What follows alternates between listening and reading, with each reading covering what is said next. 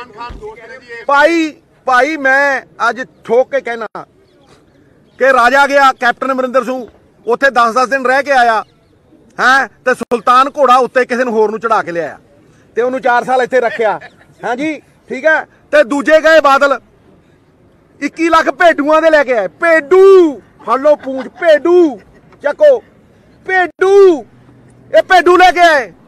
ਐ ਪੂਛਾ ਮਾਰਦੇ ਤੜ ਤੜ ਤੜ ਤੜ। ਫਿਰ ਉਹਦੇ ਤੇ 21 ਲੱਖ ਰੁਪਇਆ ਡਿਊਟੀ ਦਿੱਤੀ ਤੇ ਸਿੱਧੂ ਗਿਆ ਤੇ ਬਾਬੇ ਨੇ ਹੱਥ ਐ ਕੀਤਾ ਤੇ ਉਸ ਬਾਬੇ ਦੀ ਕਿਰਪਾ ਦੇਖੋ, ਸਿੱਧੂ ਨੂੰ ਡਾਕੀਆ ਬਣਾ ਕੇ ਤੋਰਿਆ।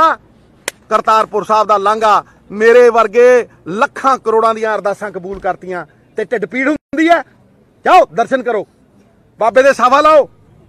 ਕਿਰਤ ਕਰੋ, ਨਾਮ ਜਪੋ, ਵੰਡ ਛਕੋ ਤੇ ਤੇਰਾ ਤੇਰਾ ਕਰੋ। ਮੇਰਾ, ਮੇਰੀਆਂ ਬੱਸਾਂ, ਮੇਰੇ ਢਾਬੇ। ਮੇਰੇ ਹੋਟਲ। ਛੱਡੋ।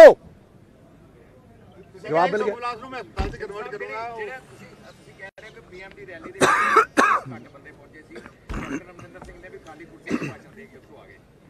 ਤੁਹਾਨੂੰ ਲੱਗਦਾ ਕਿ ਆਉਣ ਵਾਲੇ ਸਮੇਂ 'ਚ ਕਿਉਂਕਿ ਬੀਜੇਪੀ ਬੜੇ ਜ਼ੋਰ ਸ਼ੋਰ ਨਾਲ ਪੰਜਾਬ ਦੇ ਵਿੱਚ ਇਲੈਕਸ਼ਨ ਲੜਨ ਦੀ ਤਿਆਰੀ ਕਰ ਰਹੇ ਨੇ ਤੁਹਾਨੂੰ ਲੱਗਦਾ ਕਿ ਆਉਣ ਵਾਲੇ ਸਮੇਂ 'ਚ ਇਹ ਰੈਲੀ ਅਤੇ ਬੈਨ ਜਿਹੜਾ ਇੱਕ ਸੂਚੀ ਸਮਝੀ ਸਾਜ਼ਿਸ਼ ਹੈ?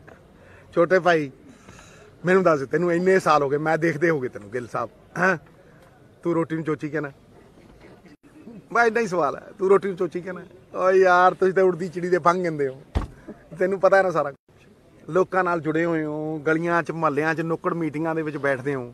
ਇਹ ਤੁਹਾਨੂੰ ਨਹੀਂ ਪਤਾ ਕਿੱਥੇ ਖੜੇ ਐ ਤੁਹਾਨੂੰ ਨਹੀਂ ਪਤਾ ਕਿ ਸਿੱਧੂ ਸਿੱਧੂ ਜਦੋਂ ਫਿਰ ਦੇਖੋ ਯਾਰ ਤੁਹਾਨੂੰ ਨਹੀਂ ਪਤਾ ਕਿ ਭਾਈ ਤਿੰਨ ਤਾਂ ਮੰਤਰੀ ਹਾਰੇ ਐ ਮੋਦੀ ਸਾਹਿਬ ਦੀ ਵੇਵ 'ਚ।